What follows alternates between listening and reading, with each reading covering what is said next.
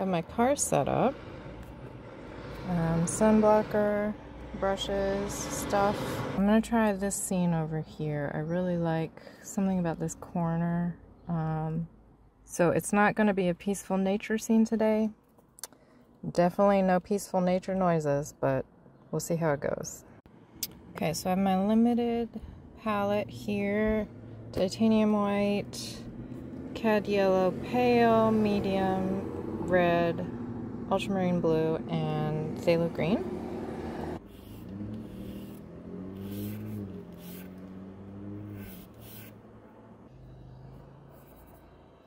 Okay, so first I'm going to focus on what I think is going to change the fastest.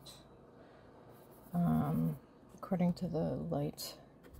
So these shadows over here will probably be gone soon or have changed. Here, put down the local color, which is what they call the big major color.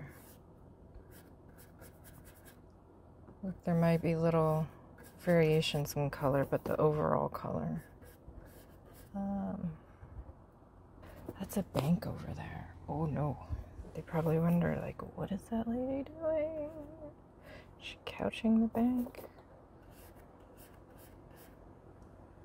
Is she looking nefarious?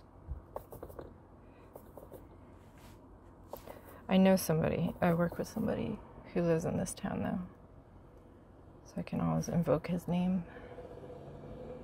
Someone stops me. Hi.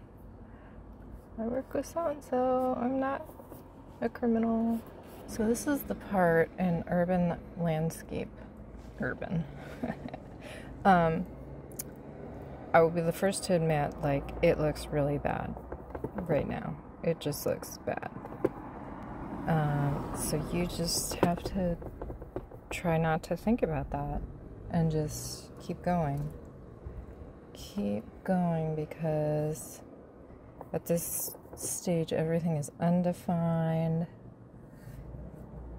It's blobby, it's blotchy, it just looks like a hot mess.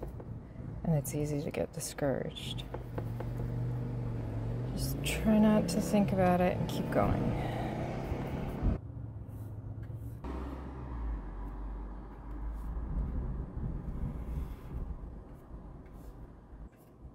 I like to put down dark lines first. I know that some people will just they would just paint this whole sky first and then they go back with like a liner and put on these dark telephone wires, but I like to put them down first so that one I know where they are and two so I can kind of cut around them. It just works better for me. Um, and it creates some interesting happenings that I could not create consciously, I think.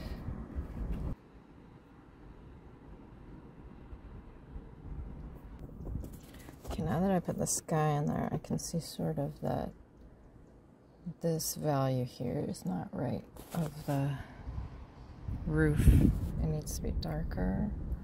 Um, so I can also go ahead and put these in distant greens. That'll probably help see the values too.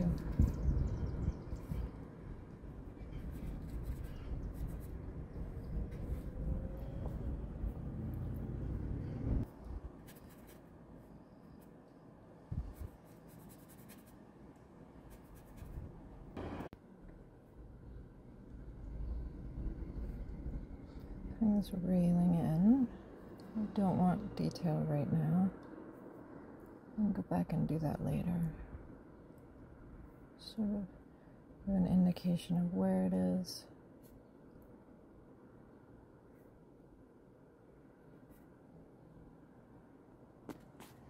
There's a rail.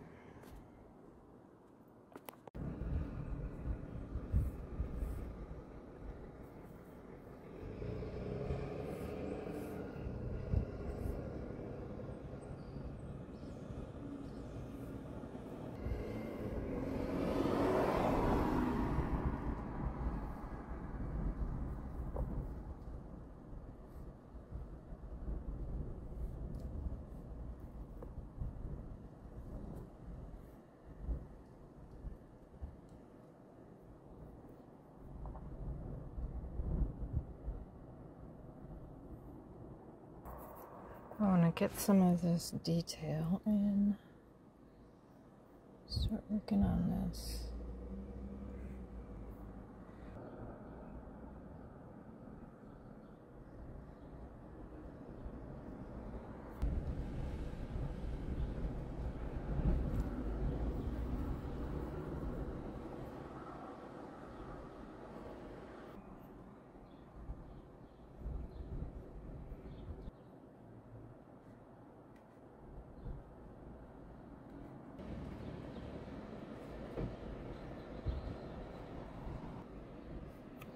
Trying not to be too too finicky right now. I don't really care about all the little window panes and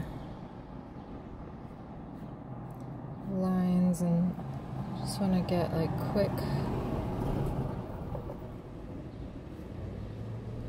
reflections, indications of reflections. But it is really windy out there. It's also really loud.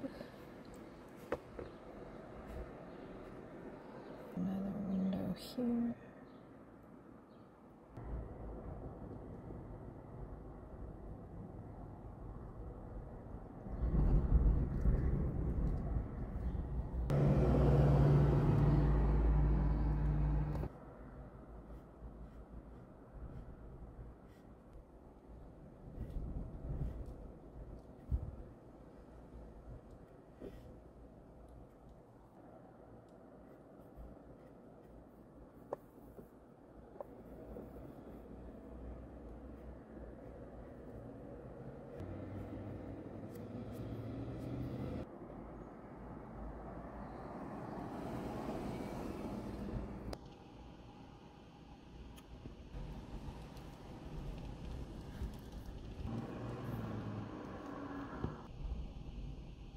This is not an aesthetically pleasing vehicle, but it creates interesting color. This pop of orange that would not otherwise be there.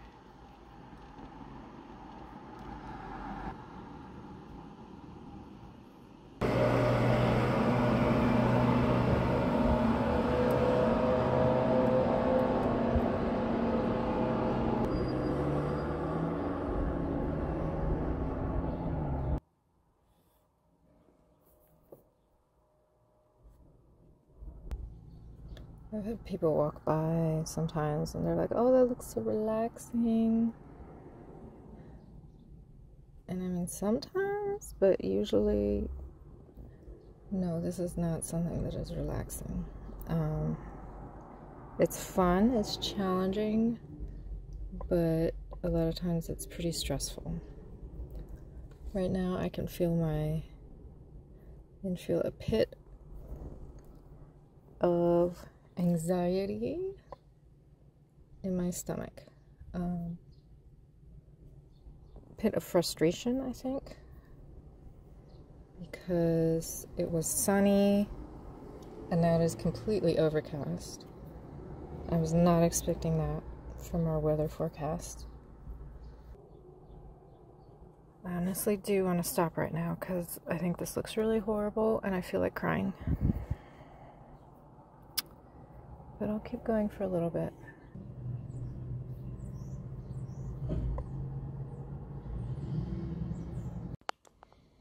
Okay, now it's time for little blobs and dots. I'm feeling a little better. Did some deep breathing. And I think closing the window helped a lot. That was just overwhelming. Um, anyway, so little blobs and dots. To give the impression of detail.